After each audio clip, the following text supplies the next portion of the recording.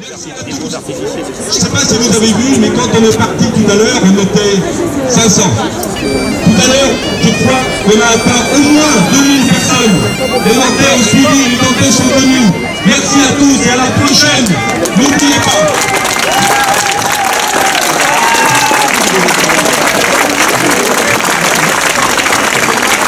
Y a le résultat d'une audience, y a le résultat d'un procès en Il a lieu lundi, lundi après-midi. Alors il n'y a pas de rassemblement prévu. On prendra le temps d'étudier, de regarder la décision. C'est peut-être plus complexe qu'une phrase. Ça sera peut-être euh, moitié, on verra.